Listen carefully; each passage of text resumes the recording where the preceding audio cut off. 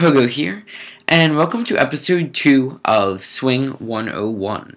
In this episode, I am going to show you how components work in uh, Swing, and we're just going to make it actually display the text Hello World. Uh, this is just like an introduction to how you know all the different components work, how to create them, change different properties of them, and then uh, set and then you know add them to the frame. Uh, eventually, you know, we'll learn more of the components uh, that are built in, but for today, this is just how all of them work in general. Uh, and the example we're going to be using is actually printing out some text. So in between the declaration of the frame and where we change all the properties, that's where I usually like to do all of the work because you got to have the frame declared. But I feel like you know setting the size and setting all the other properties belongs towards the bottom. So in between there is usually where I write this code, but it's of course up to you. And um, what we want to do here is we're going to actually go ahead and declare what's called a J label. Uh, this is a class that represents a text label in Swing. And you declare it like a regular class, J label, call it label, is equal to new J label. And then in the constructor, you can actually pass it uh, the text that you want it to have.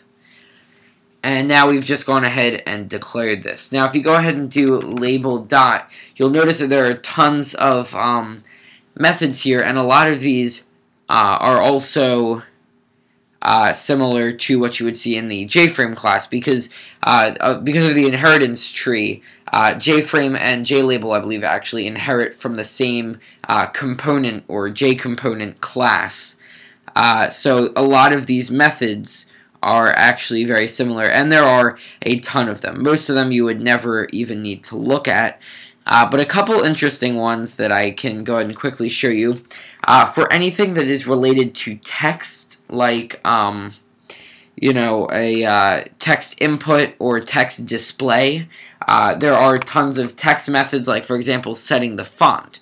So if you wanted to set the font of this, uh, you can go ahead and construct a font. This takes three parameters. First, the name of the font, then the um, uh, parameters of the font, then the size. So in this case, we can use font.sans serif. That's just the built-in sans serif, you know, standard font. Uh, then you can do font dot, we're going to do plain, but you could have bold and it or italics or whatever you wanted there. And then you can go ahead and do the size, so like 18. This will work with any um, component that is uh, a text component, you'll have that set font. Uh, with labels, if you want to change the color, you use uh, set foreground. Like we use set background to change the background color of the frame.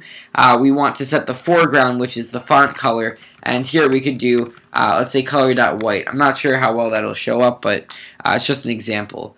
So that foreground, set foreground method is, uh, is inherited by all of these components, but of course it varies based on the particular component. Um, you know, there are lots of other methods. Another one that I like to use is set alignment x, which will set the x alignment. So uh, in this case, if you go ahead and take a look in the component class, you can see there's bottom alignment, center alignment, left, right, and top.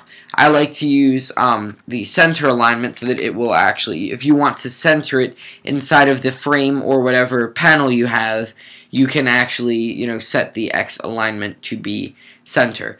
And those are just some of the things that you can do. If you type in, of course, label dot and you take a look at all of the different methods in here, there are tons of methods and each one will actually give you, excuse me, a description of the uh, information of what it does.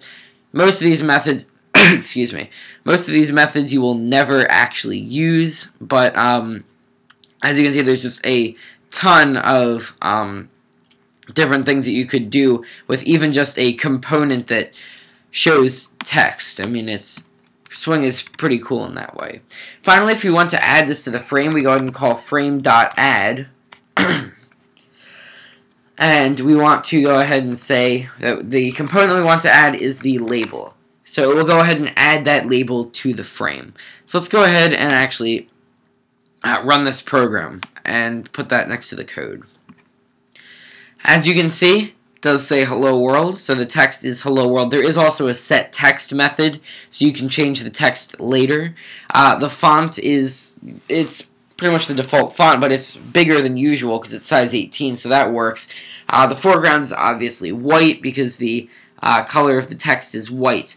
Uh, now, the only thing that is not working is the set alignment X to be centered.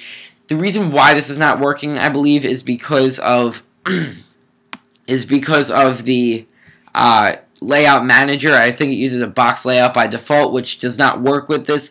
But when we get into layout managers pretty soon, I'll show you different ways to lay out components. So like right now, you just have this one in the you know left center, uh, but eventually you could have it line up so that they stack on top of each other going down, or you could you know have three components there, uh, have like a one at the top and one at the bottom, and other different uh, layout managers that you can use to control how things uh, get displayed. So I think that's all that uh, we needed to do for this video. I just wanted to show you um, how to create a component, add it to a frame, and then also some of the methods that you can use with the components. Most of these methods will apply, of course, uh, set font will apply to any text-related component, and the foreground and alignment X exist in all of the components, so you can use them anywhere. And those are just some of the many methods that you can use. In the next video, um, I'll show you, uh, probably in the next video, I'm going to show you some more uh, components you can use, like buttons and, you know, radio buttons and uh, lots. There's a ton of uh, other cool things that you can do uh, inside of Swing, you know, text input and lots of other things. So that's all for this simple video. As always, subscribe if you want to see more, comment what you want to learn, and also let me know what you want to do with Swing. Like, uh, you know, we're doing this series, but uh, is there anything you're interested in making as a final outcome and working towards it like we do in the Java 101 series? Let me know. And uh, I will see you guys next time. Bye.